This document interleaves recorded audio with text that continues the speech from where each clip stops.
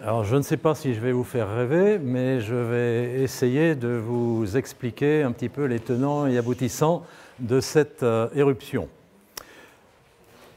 Vous avez eu l'occasion de voir le, menu. Euh, très très rapidement, je vais vous situer géologiquement ce volcan, le Vésuve. Euh, après, il sera nécessaire, je pense, pour certains, d'aborder quelques clés pour comprendre ce qui s'est passé, quelques clés géologiques. Après cela, ben, je vous décrirai un petit peu en compagnie de Pline le Jeune euh, la façon dont cette éruption a été vécue et relatée par Pline. Et on lira ensemble quelques extraits de, la première lettre de Pline à Tacite.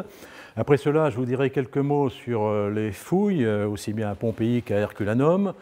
Et je pense que bon, Barbara pourra et ses collègues pourront euh, compléter par la suite au cours de la visite, probablement euh, mieux que moi.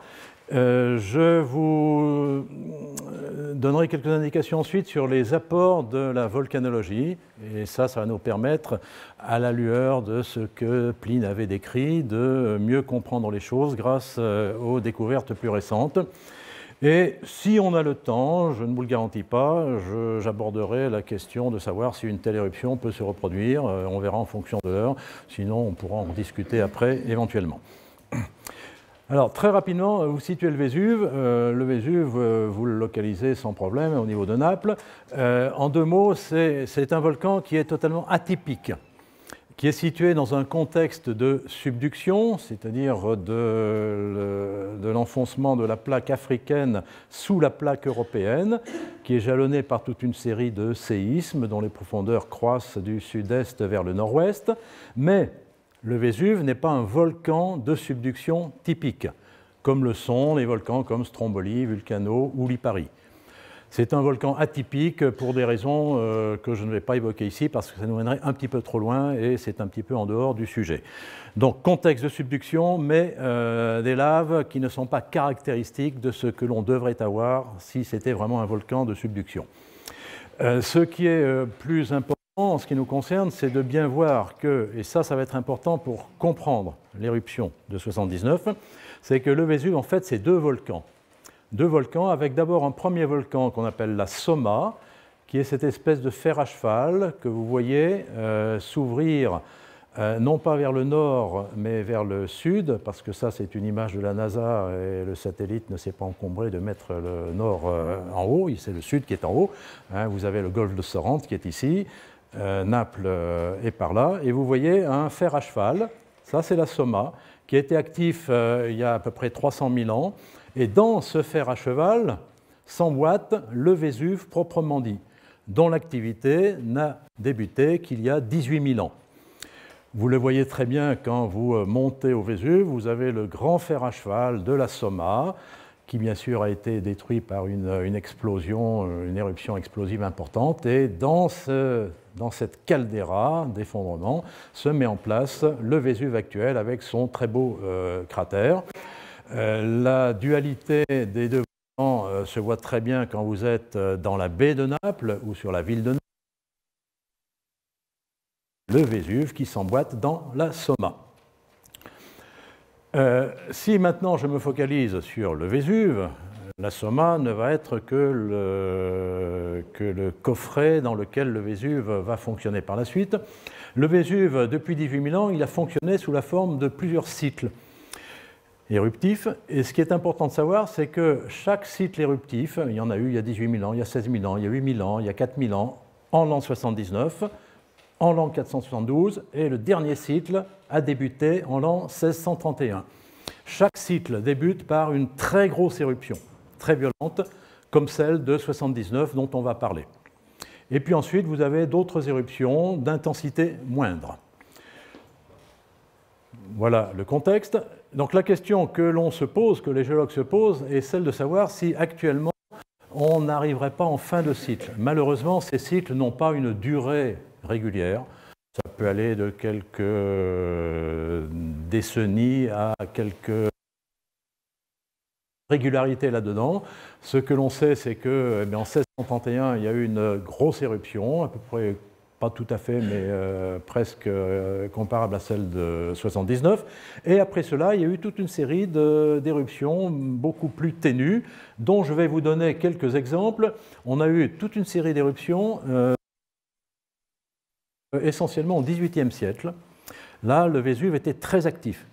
Et à cette période, euh, on avait un passionné de volcans, euh, qui était également un diplomate, Lord William Hamilton, qui était ambassadeur du roi d'Angleterre auprès de la cour de Naples, qui était passionné de volcans et qui est monté plusieurs dizaines de fois au Vésuve.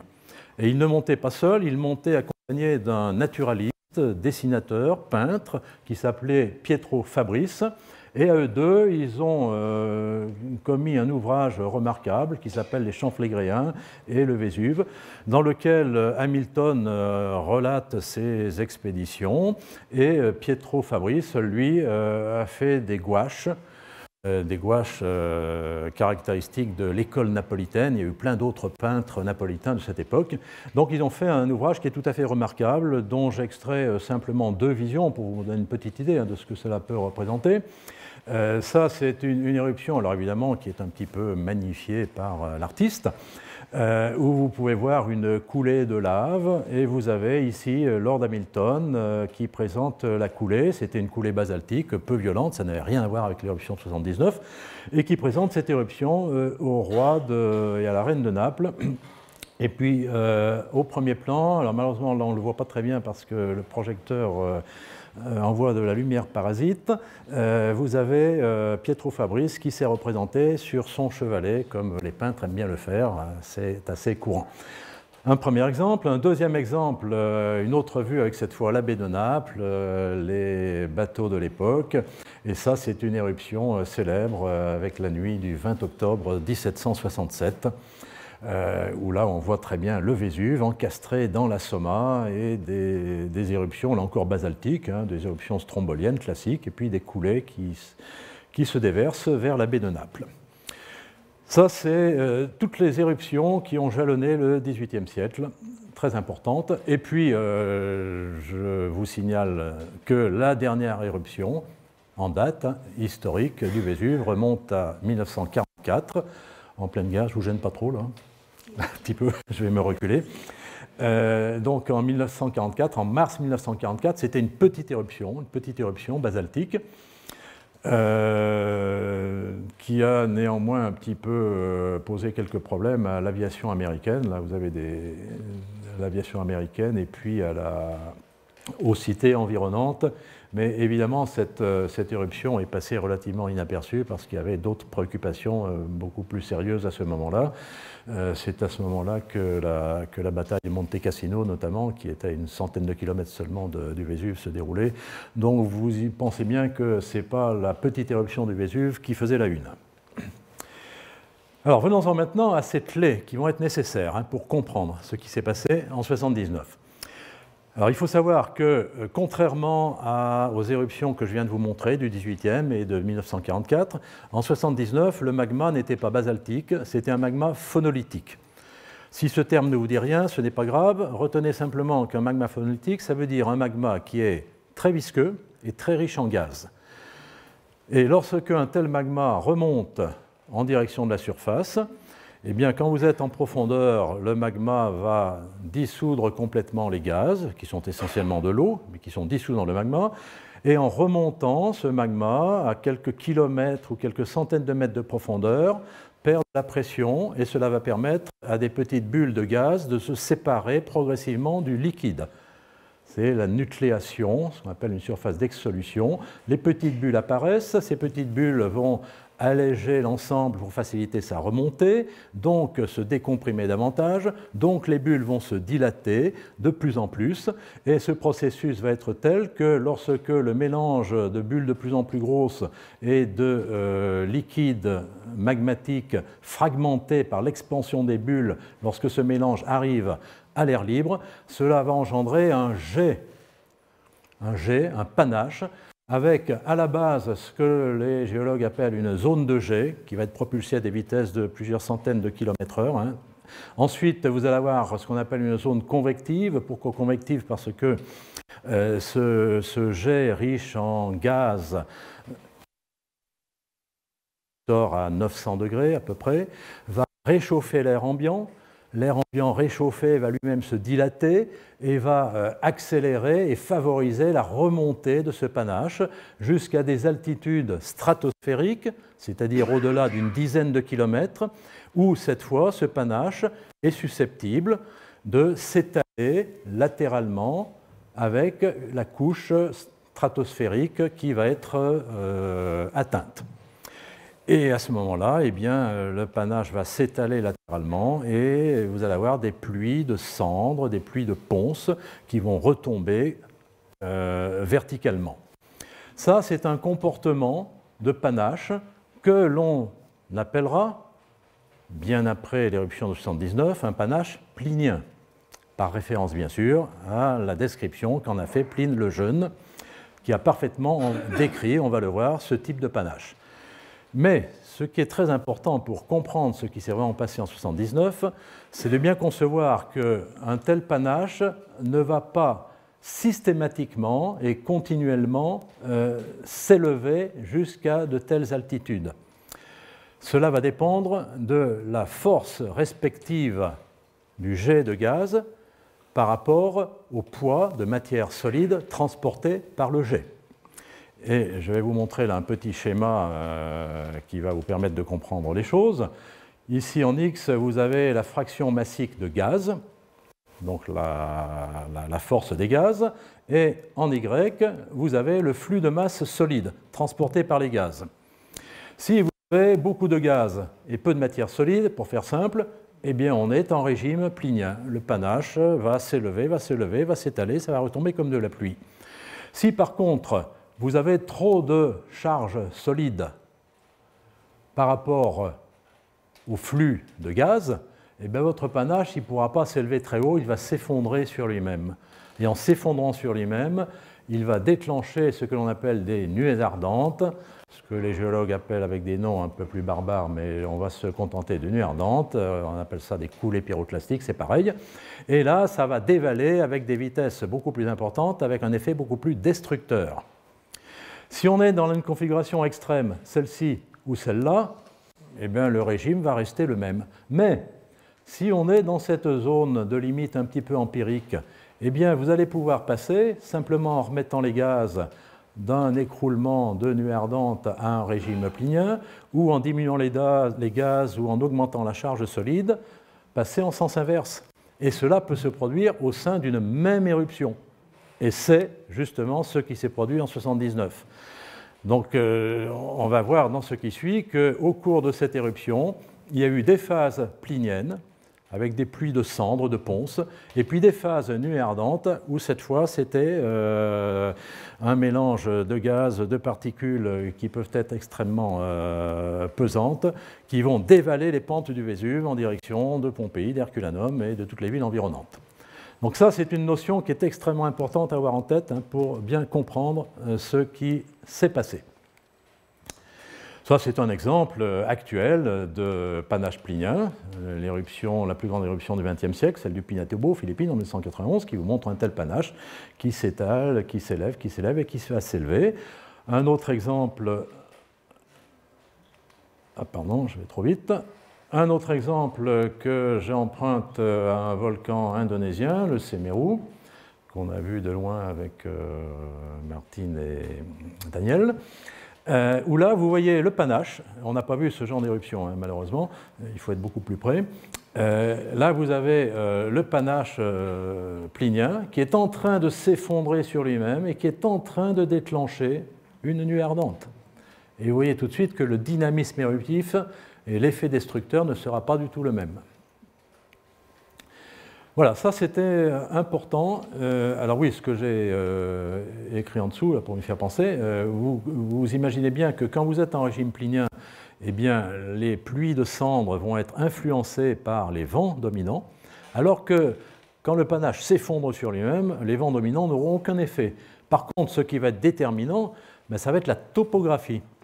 Et n'oubliez pas ce que je vous ai dit en préambule, que le Vésuve il est encastré dans un fer à cheval de la Somma, qui d'un côté va faire barrage, alors que de l'autre on est ouvert. Et on est ouvert de quel côté? Ben, On est ouvert vers Culanum, vers Naples, vers Pompéi. Alors venons-en à cette éruption à travers eh bien, le, témoignage, le témoignage de Pline le Jeune. Alors nous avons deux antagonistes que vous connaissez tous de nom, le neveu et l'oncle. Le neveu, à cette époque, il, avait, bah, il avait 17 ans. Euh, l'oncle, il était un peu plus âgé, le neveu était inconnu, euh, l'oncle était très connu. Euh, Pline l'Ancien était connu à différents titres, il était, c'était un chef militaire, et à cette époque, il était à, il était à Mycène, il commandait la, flotte romaine qui était basée à ce niveau-là. Et c'était également ce qu'on appelait à l'époque un grand savant. Ça a été l'un des premiers à écrire une véritable encyclopédie euh, naturaliste historien. Là, un, il a fait une œuvre absolument phénoménale en 37 volumes, je crois, euh, qui, euh, qui, regroupait absolument tout ce qu'un érudit de cette époque pouvait savoir. Donc c'était quelqu'un d'extrêmement célèbre et un naturaliste dans l'âme, extrêmement curieux, et ça, ça va déterminer bien sûr son comportement. Avant de relater l'éruption elle-même, il est important de faire un petit retour sur ce que représentait le Vésuve pour les Romains à cette époque. Euh, quelques années avant, euh, un géographe grec, Strabon, avait bien identifié le Vésuve comme étant un volcan. Mais les Romains, hormis peut-être quelques, quelques érudits, euh, avaient complètement oublié qu'il s'agissait d'un volcan, et encore moins que ce volcan pouvait être actif. Euh, la dernière éruption du Vésuve remontait à 217 avant Jésus-Christ. vous imaginez bien qu'en 79 après Jésus-Christ, on avait oublié que le Vésuve était un volcan. Euh, pour les Romains, c'était une et cette peinture là qui est maintenant au musée de Naples, euh, qui a été trouvée à Pompéi, je crois, le, montre bien. C'était une colline verdoyante, couverte de vignes, et là, vous avez, bien sûr, vous avez tous reconnu Bacchus. Donc, euh, le Vésuve, on a oublié qu'il pouvait représenter un danger. C'était au contraire une, euh, région, une colline qui était euh, extrêmement agréable à vivre.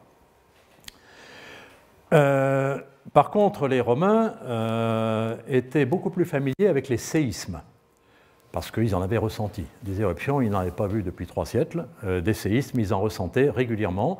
Et il y avait eu, notamment, 17 ans avant l'éruption, un violent séisme, le 5 février 62, de l'an 62, euh, bas-relief de Pompéi, où l'on voit euh, un, édifice qui est bancal par rapport aux autres.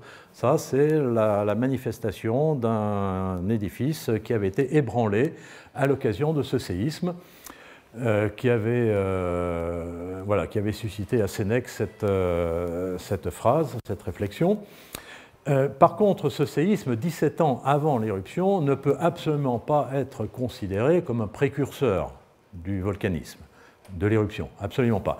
Les précurseurs sismiques, ils sont arrivés, mais ils sont arrivés 4 ou 5 jours avant l'éruption. C'est-à-dire, selon les dires de Pline le Jeune, le 20 août.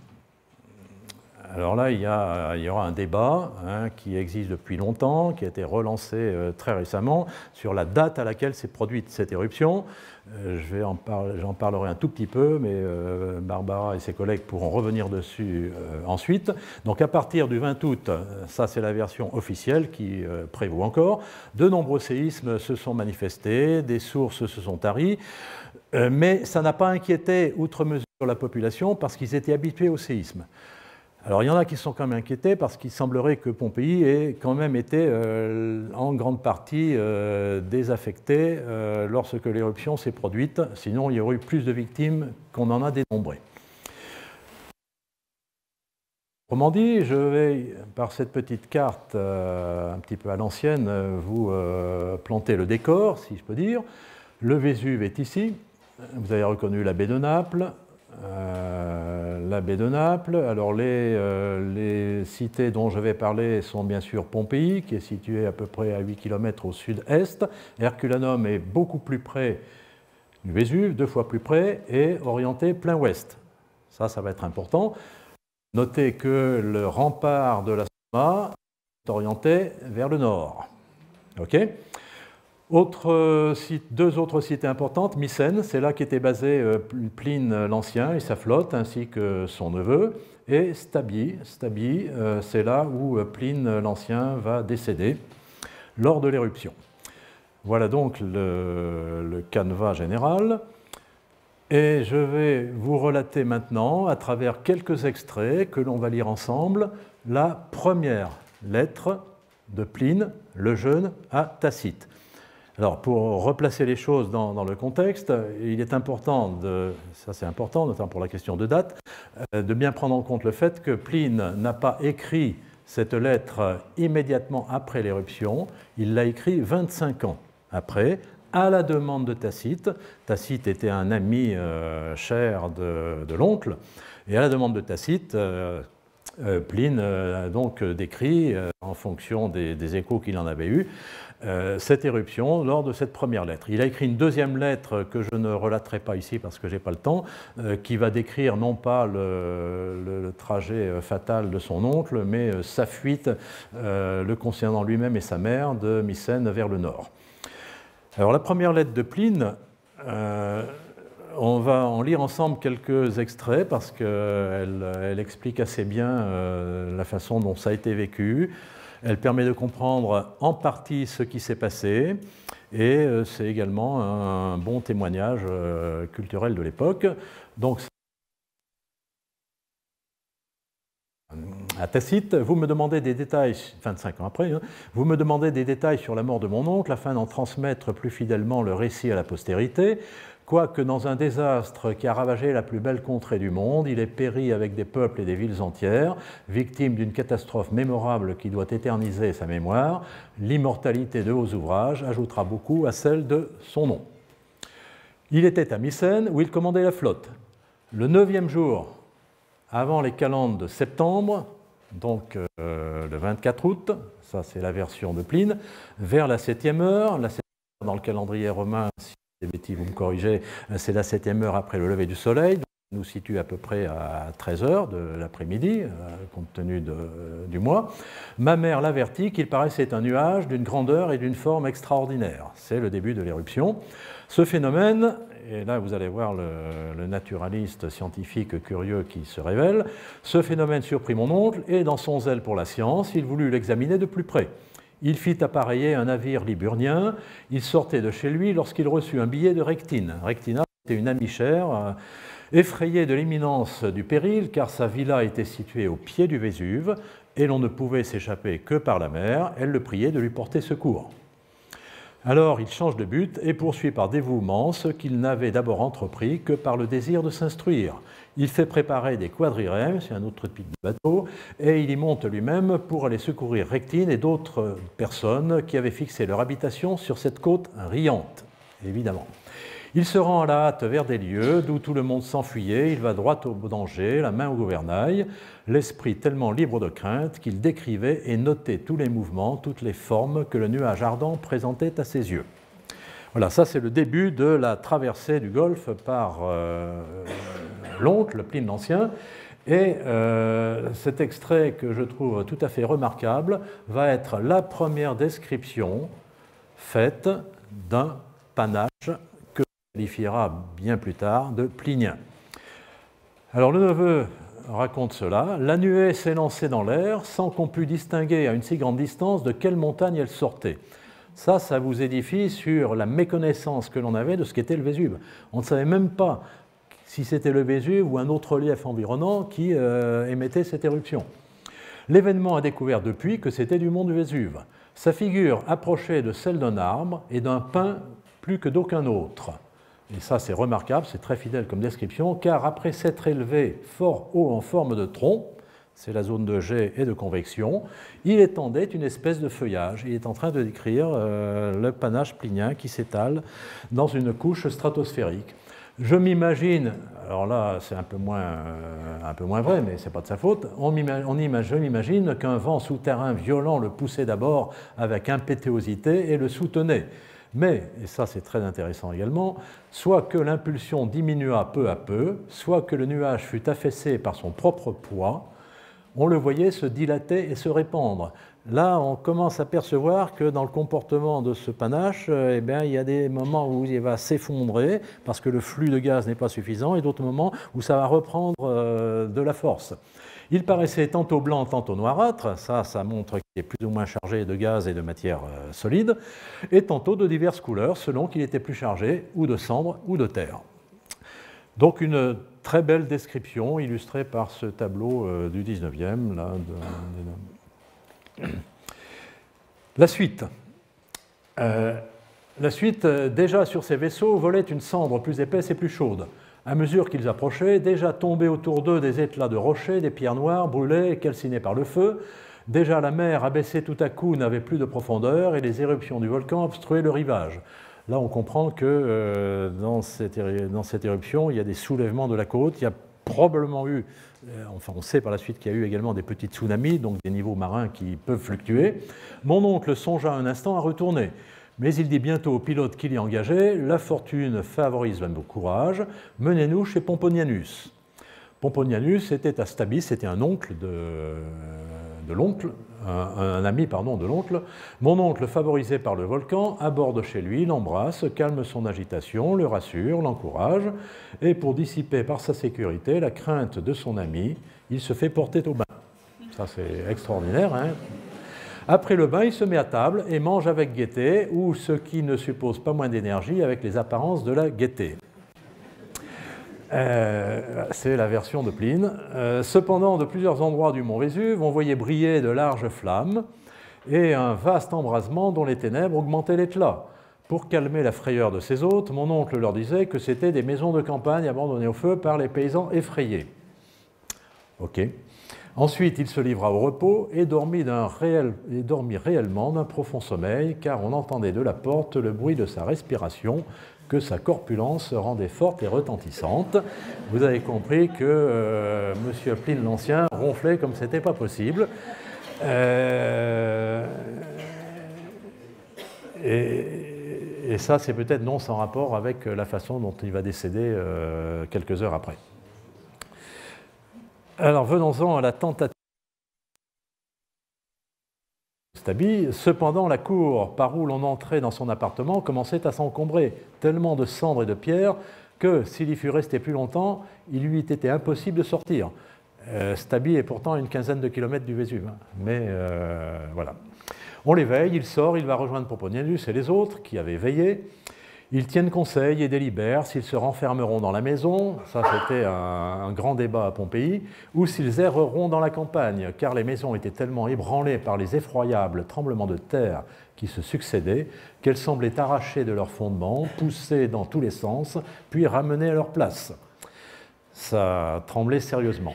D'un autre côté, on avait à craindre, euh, hors de la ville, la chute des pierres, quoiqu'elles fussent légères et minées par le feu. Et là, on comprend qu'il est en train de décrire des relativement légère, euh, minée par le feu, mais pleine de trous. Euh, de ces périls, on choisit le dernier. Ils attachent donc avec des toiles des oreillers sur leur tête. Euh, ils n'avaient pas mieux. Hein. C'était une sorte d'abri contre les pierres qui tombaient. Le jour recommençait ailleurs. Donc là, on comprend qu'on est déjà le 25 au matin. Le jour recommençait ailleurs, mais autour d'eux régnait toujours la nuit la plus sombre et la plus épaisse, sillonnée cependant par des lueurs et des feux de toute espèce ont voulu s'approcher du rivage pour examiner si la mer permettait quelques tentatives, mais on la trouva toujours orageux et contraire. Donc il était absolument impossible de fuir par la mer, évidemment. Et puis ben, euh, le dernier passage de cette première lettre euh, qui va relater la mort de Pline l'Ancien. Là, mon oncle se coucha sur un drap étendu, demanda de l'eau froide et en but de foi.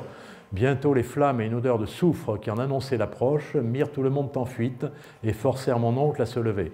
Là, ce qu'il est en train de décrire, ben, c'est l'arrivée d'une nuit ardente, qui sont arrivées sur Pompéi uniquement sur le petit matin. Alors à Stabi, on était en fin de course, mais il y avait néanmoins des émanations gazeuses qui, euh, on va le voir, ont été fatales à Pline l'Ancien. Il se lève, appuyé sur deux jeunes esclaves, et au même moment, il tombe mort. J'imagine que cette épaisse vapeur arrêta sa respiration et le suffoqua. Il avait naturellement la poitrine faible, étroite et souvent haletante. Lorsque la lumière reparut, trois jours après le dernier qui avait lui pour mon oncle, on retrouva son corps entier, sans blessure. Rien n'était changé dans l'état de son vêtement et son attitude était celle du sommeil plutôt que de la mort. Voilà, donc euh, on a une d'un panache plinien et des effets euh, collatéraux d'une nuée ardente. Ça, c'était en 79, après Jésus-Christ. Alors, au moment de l'éruption, euh, Titus, hein, qui était l'empereur à ce moment-là, a délégué euh, deux, personnages haut placés, certainement, je ne sais pas exactement qui, qui sont allés sur place. Titus a a fait un peu de social, on peut dire, parce qu'il a, il a décidé de euh, au moins une partie des survivants de Pompéi en leur donnant les biens de ceux qui étaient décédés. Euh, voilà, bon, ça peut se discuter évidemment, euh, mais c'est ce que, d'après ce que j'ai vu, ce que Titus a décidé de faire. Donc les deux émissaires de Titus sont allés revenus, ils ont dû faire leur rapport, hein, comme, comme ça devait être le cas déjà à l'époque, et puis on s'est empressé de tout oublier et de tout oublier pendant des siècles et des siècles. Et ce n'est qu'en 1592, hein, donc euh, quasiment six siècles après, que le site de Pompéi a été redécouvert. Pour Herculanum, il a fallu attendre 1709. À cette époque, on ne savait pas qu'il s'agissait de Pompéi. On avait tellement oublié euh, Pompéi qu'on n'avait pas clairement identifié le site comme étant Pompéi. Et l'identification formelle de Pompéi n'a été faite qu'en 1763.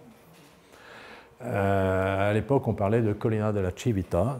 Euh, donc les fouilles ont commencé en 1748 à, Pompéi, à Herculanum en 1738, et les fouilles méthodiques euh, véritables ont démarré en 1860 sous la férule d'un archéologue à qui on doit beaucoup, Giuseppe Fiorelli. Qui a mis au point une technique de fouille dont je vais vous dire deux mots et dont Barbara pourra peut-être vous en dire davantage que moi. Euh, là, je vous remets, euh, je vous remets deux, deux, figures pour vous illustrer un petit peu ces fouilles. Euh, d'abord, une gouache de Pietro Fabrice, toujours le même, hein, qui vous montre le dégagement du temple d'Isis hein, à Pompéi, des, cendres. Et puis ici, une scène de fouille à la fin du 19e, très probablement, vous montrant qu'à l'époque, on n'avait pas tout à fait les mêmes les mêmes soins que l'on a maintenant, on y allait au pic. Et, là, vous avez les, premiers corps qui ont été retrouvés, euh, dont, je vais vous, je vais vous dire deux mots sur la méthode de conservation. Alors, quelques mots sur les victimes. Euh, quelques mots sur les victimes, parce que ça, ça va être très important pour se recaler par rapport à ce qui s'est passé et qui sera très différent à Pompéi et Herculanum. À Pompéi, on a retrouvé, d'après mes informations, euh, ça peut peut-être se discuter, à peu près 1150 corps alors que Pompéi était censé euh, contenir à peu près 20 000 habitants, euh, ce qui fait que très probablement une bonne partie des habitants avaient déjà fui avant. Et sur ces 1150 corps retrouvés, ce qui est intéressant pour comprendre les choses, c'est de faire la part de ce qui a été retrouvé dans les retombées de Ponce du début de l'éruption, qui a été dominé, on va le voir, ça c'est la volcanologie plus récente qui le montrera, qui a été dominé au début de l'éruption par des retombées de cendres de ponce pliniennes, alors qu'au-dessus, ce que l'on a, c'est typiquement des dépôts de nuées ardentes. Dans les retombées de ponce, on a retrouvé 400 corps, dans les, dans les dépôts de nuées ardentes, on a retrouvé 650, mais ce qui est le plus important, c'est de voir où on a retrouvé ces, corps. Dans les retombées de Ponce, 90% des corps ont été retrouvés dans les habitations.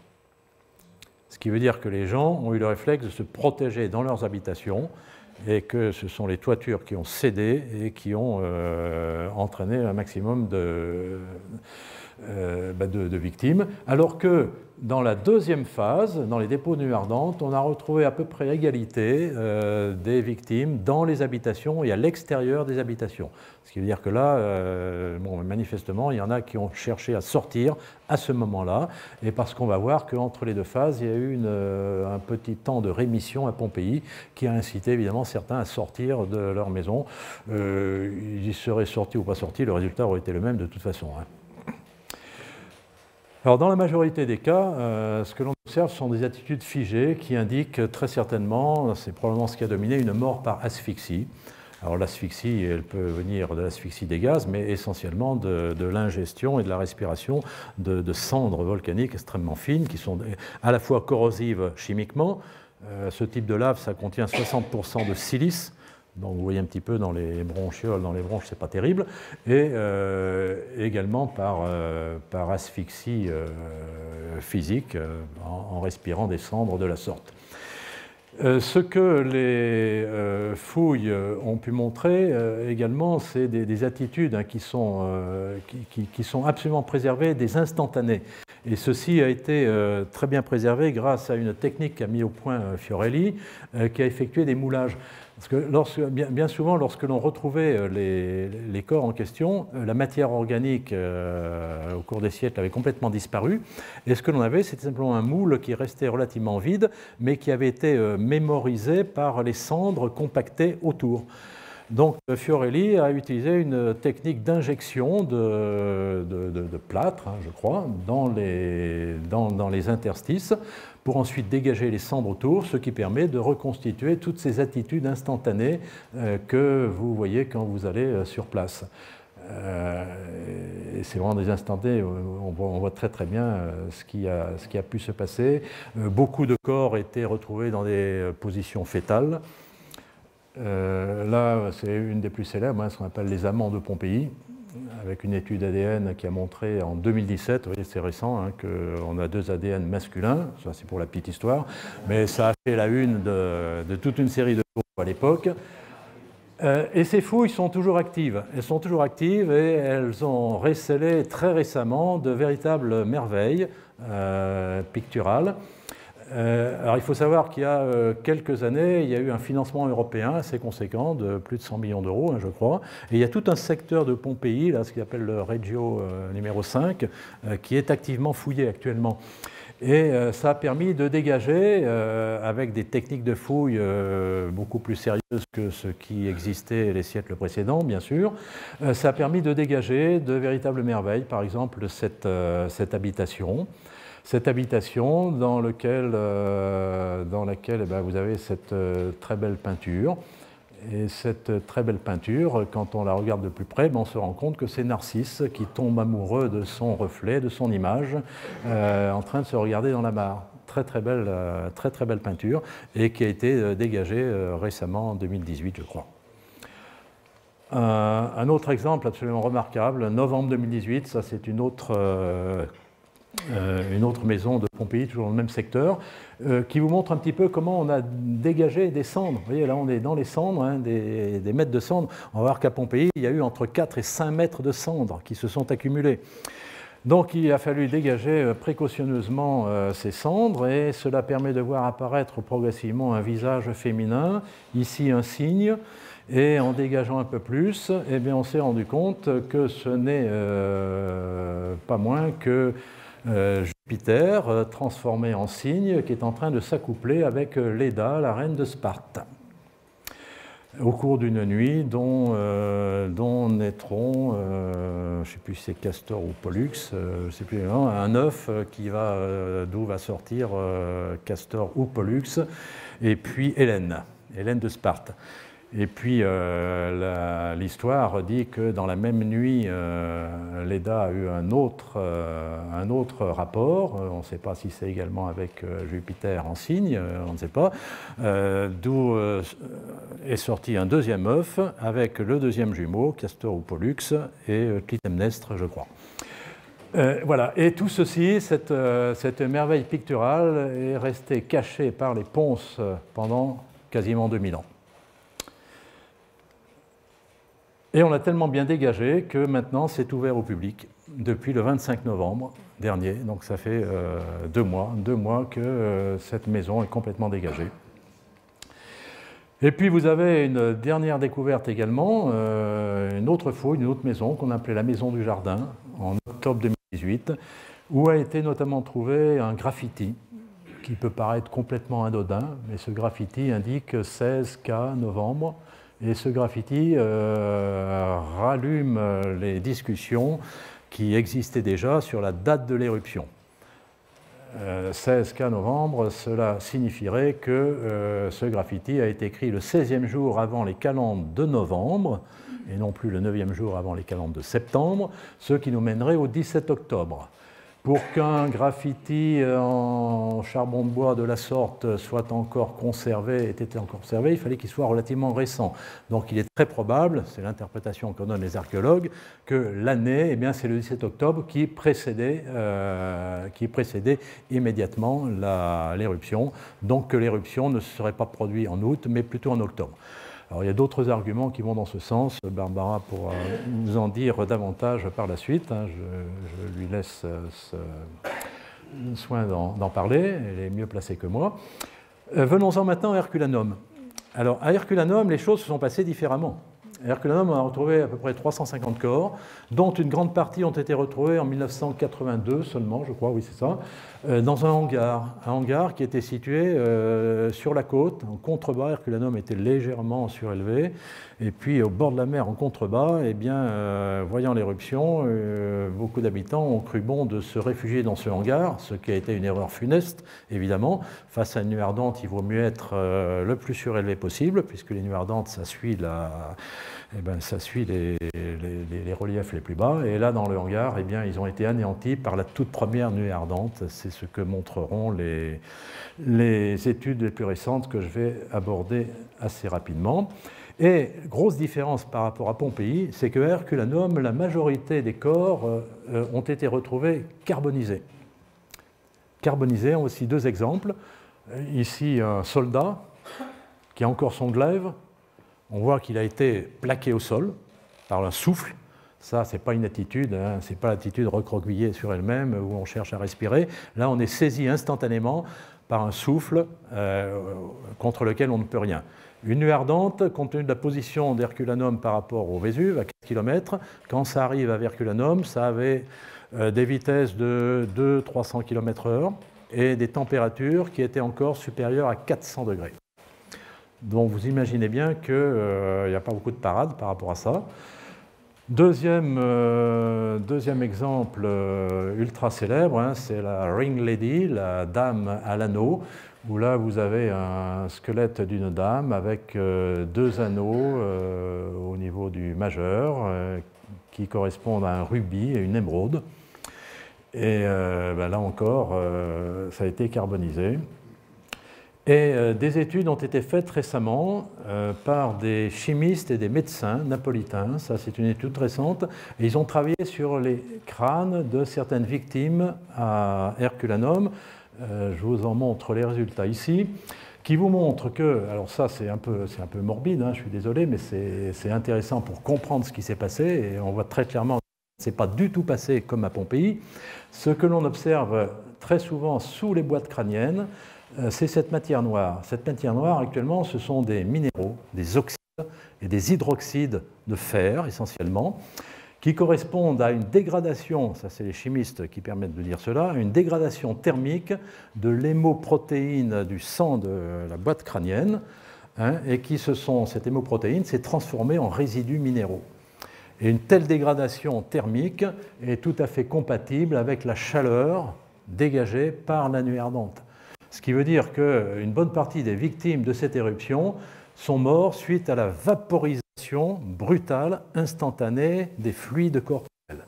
Et ça, c'est une étude euh, toute récente, hein, à peine un an, qui, euh, euh, qui, a montré ceci, une étude très, intéressante et qui, qui, montre bien la distinction qu'il faut faire entre Pompéi et Herculanum.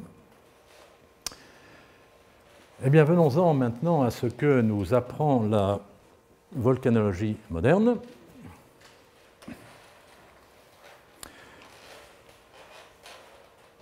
Alors vous avez là un petit, euh, un petit chronogramme que je vais essayer de, de, retracer progressivement, euh, mais pour euh, bien comprendre ce qui s'est passé, il faut comparer ce que l'on a retrouvé à Pompéi et ce que l'on a retrouvé à Herculanum.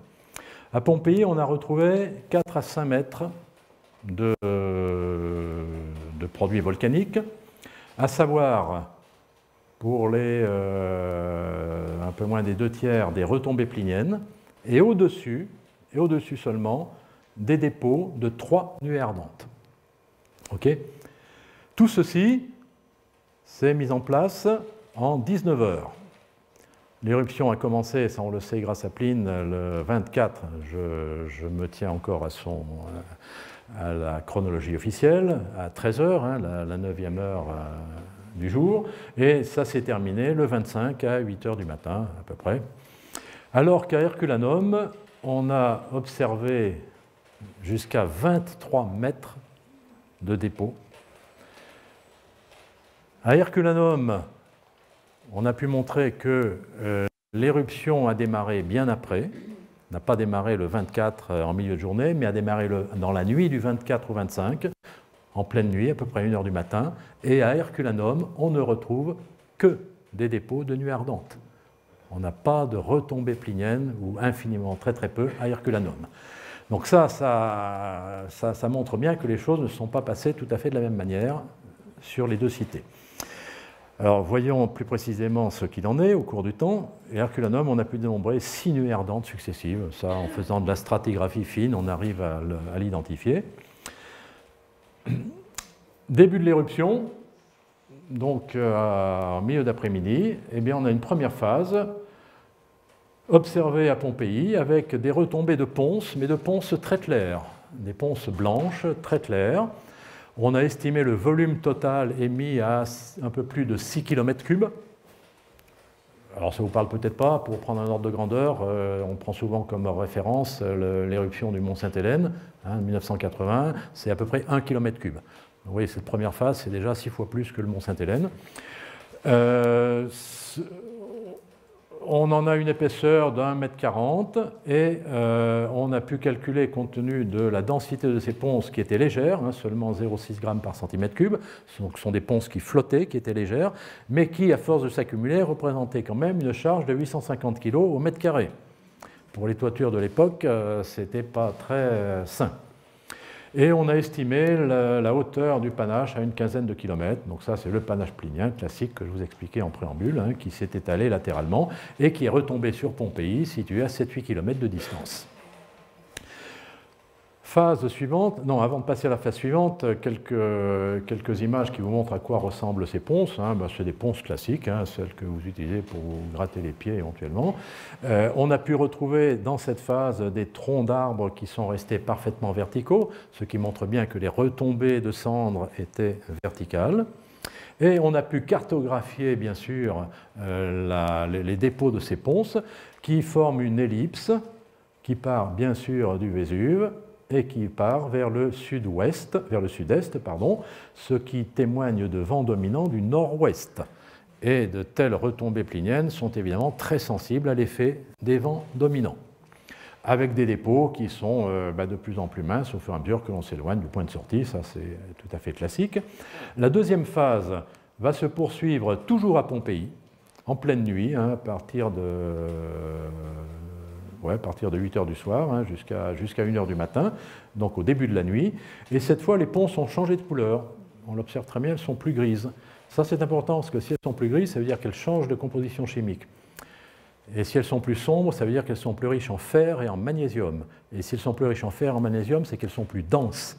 Et si elles sont plus denses, ça veut dire que ça représentait encore un surcroît de surcharge qui fait qu'on en arrive, en rajoutant encore un bon mètre 30 de telle ponce sur celle qui, euh, qui était retombée précédemment, à une charge cumulée de plus de 2 tonnes au mètre carré. Donc là, vous imaginez bien que les toitures n'avaient aucune chance de tenir le coup. On a pu estimer, en fonction de différents critères cartographiques, hein, que le panache à ce moment-là était encore plus vigoureux et qu'il était probablement monté à une trentaine de kilomètres d'altitude avant de, avant de s'étaler latéralement. Ça, c'est la deuxième phase. Donc ces deux premières phases ne concernent que Pompéi. Après cela, eh bien après cela, à Pompéi, on a une accalmie en pleine nuit qui peut expliquer que des gens aient pu chercher à sortir et que les proportions de victimes dans les maisons et l'extérieur des maisons aient changé dans ce qui va suivre. Mais à ce moment-là, à 1h du matin à peu près, première nuit ardente, qui elle va partir sur Herculanum, mais pas sur Pompéi. Et c'est cette nuée ardente qui ne fait que 2 mètres, mais 2 mètres ça suffit à être extrêmement destructeur, euh, qui va euh, anéantir le hangar où euh, certains occupants avaient cru bon de se, de se réfugier. Donc une nuée ardente. Alors ces nuées ardentes, je vous l'ai déjà expliqué, ça je vous remets rapidement, c'est dû à l'effondrement d'un panache. Hein. le panache plinien euh, la charge, le, flux de gaz n'est plus suffisant pour euh, élever des matières euh, solides qui deviennent trop importantes. Donc le panache va s'écrouler sur lui-même, va déclencher une coulée pyroclastique. À l'avant de cette coulée, vous avez de l'air qui est réchauffé, qui est entraîné.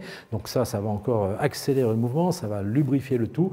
Et cette espèce d'aérosol turbulent, avec des matières solides, des matières gazeuses, et puis euh, un nuage de cendres au-dessus, va dévaler les pentes du Vésuve en direction d'Herculanum avec des effets destructeurs considérables compte tenu de la température supérieure à 400 degrés et compte tenu de la vitesse de propagation euh, de quelques centaines de kilomètres heure. Et c'est ainsi que, au cours de la nuit et jusqu'au petit matin, vont se succéder une deuxième, une troisième, une quatrième, une cinquième et une sixième nuit ardente. Toutes ces nuits ardentes vont déferler sur Herculanum, et une partie d'entre elles, à partir de la troisième, vont également aller sur Pompéi. La troisième s'arrête au mur nord de Pompéi, tandis que les trois dernières, quatrième, la quatrième, la cinquième et la sixième, vont complètement dévaster ce qui reste de Pompéi et ce qui reste d'Herculanum. Donc ça, c'est la chronologie qui a pu être reconstituée. Ce qu'il est intéressant de regarder également, euh, c'est la cartographie dans l'espace des retombées pliniennes et des dépôts de nuées ardentes. En jaune, vous avez les dépôts de nuées ardentes. En bleu, vous avez les retombées pliniennes. et cela vous permet de constater que pour les retombées pliniennes, vous avez évidemment l'influence déterminante des vents dominants du nord-ouest, qui entraîne le panache qui était d'abord à 15 km, ensuite à 30 km, vers le sud-ouest. Tandis que si vous regardez la répartition des dépôts de nuées ardentes, il n'y a aucun effet, euh, aucune influence du vent. Par contre, vous voyez que tous ces dépôts partent vers l'ouest ou vers le sud-ouest, et absolument pas ou très peu au-delà du rempart que faisait la Soma.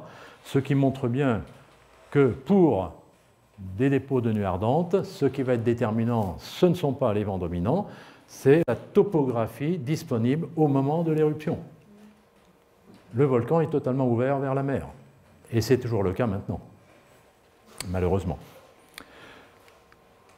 Et voici euh, une vue que je ne peux pas m'empêcher de passer parce que je la trouve euh, extrêmement démonstrative. Euh, ça, c'est un arbre qui préexistait au moment de l'éruption, qui était retrouvé dans des, fouilles, et qui vous montre la partie inférieure parfaitement verticale, tandis que tout d'un coup, eh bien, votre arbre il se met à plier et quand on regarde les dépôts correspondants, tant que l'arbre reste euh, vertical, on est dans des dépôts de cendres, des retombées de cendres, un piumage, les ponces en anglais. Et puis à partir du moment où l'arbre se courbe, eh bien on passe de retombées de cendres à des dépôts de nuit ardente.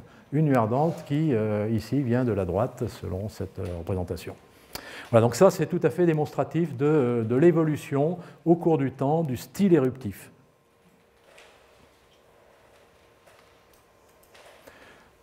Alors, est-ce qu'on on en est où là?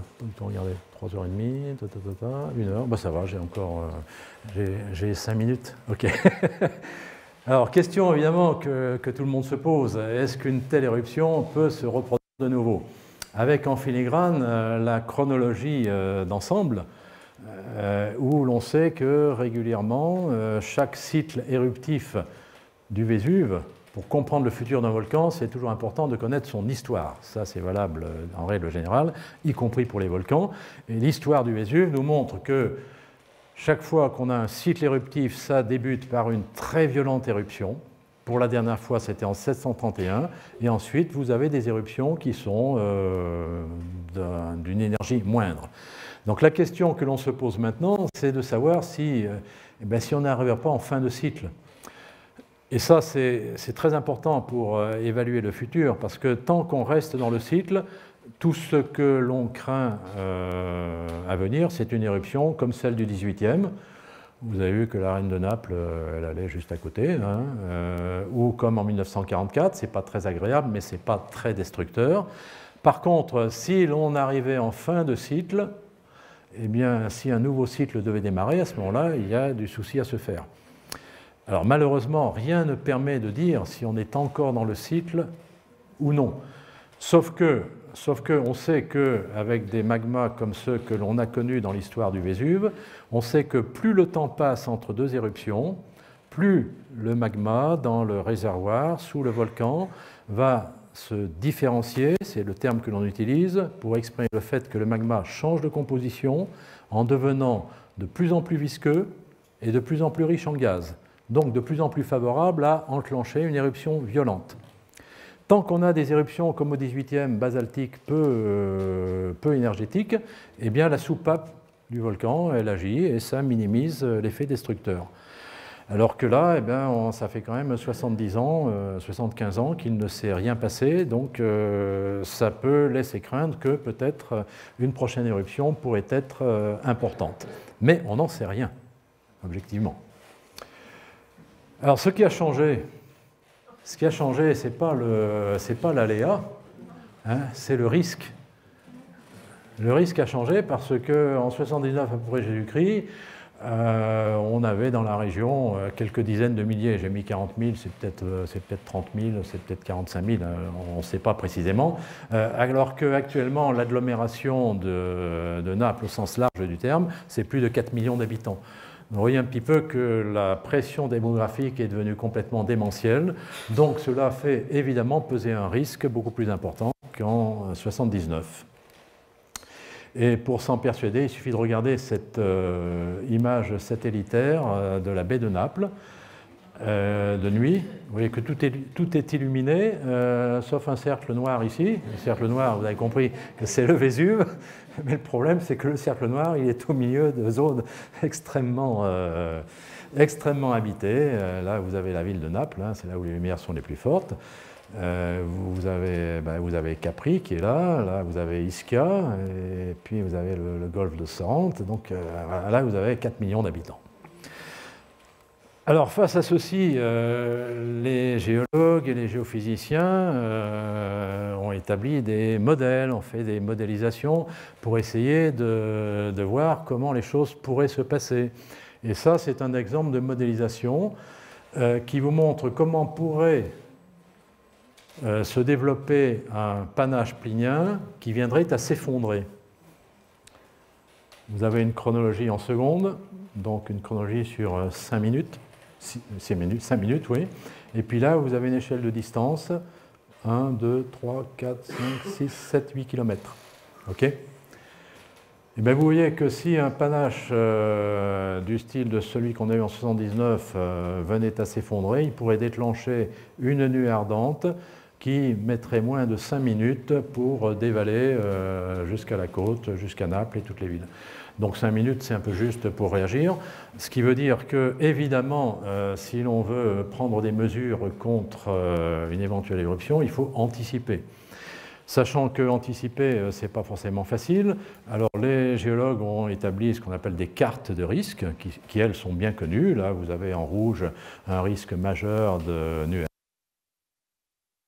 beige, ici, vous avez euh, une carte des lares. Les lares, c'est des coulées de boue lorsque des dépôts de cendres sont remobilisés.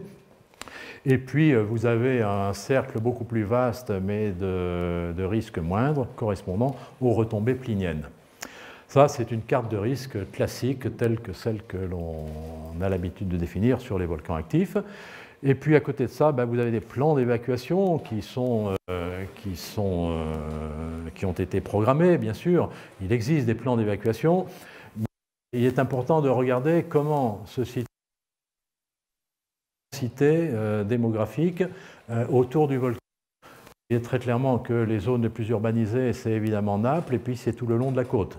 C'est évident, la côte, c'est plus joli que l'arrière-pays. C'est là que tout le monde s'est euh, s'est mise en place. Le problème, euh, le problème c'est que, je vous le rappelle, ça c'est la première chose que je vous ai dit, eh bien, le rempart de la Soma, il va de là jusqu'à là. Donc il protège relativement bien les bourgades qui sont situées au nord ou à l'est, mais par contre, euh, le fer à cheval est toujours ouvert vers la côte, là où vous avez le maximum de population, Et là, vous avez les, voies, les, voies routières les plus importantes. Hein. L'autoroute, évidemment, on ne l'a pas fait passer derrière, on l'a fait passer au bord de la mer, c'est plus joli. c'est plus joli, mais s'il faut évacuer 4 millions d'habitants, ça va être un peu difficile. Euh, surtout qu'on est dans une baie qui est très belle, mais qui ne facilite pas euh, la, mise, au point d'un plan d'évacuation. Alors, euh, rassurez-vous, les plans d'évacuation, ils existent, mais inquiétez-vous, on sait qu'ils ne seront pas efficaces, probablement. et je ne peux que, ben, que conclure en disant qu'une catastrophe est malheureusement prévisible. évidemment, on ne sait pas quand. Euh, on ne sait pas quand. Le volcan est évidemment très surveillé, donc il n'y a, pas de risque imminent, c'est clair. Euh, donc en attendant que le risque euh, augmente, eh vous pourrez continuer à profiter de cette très belle vue. et ben, je vous remercie.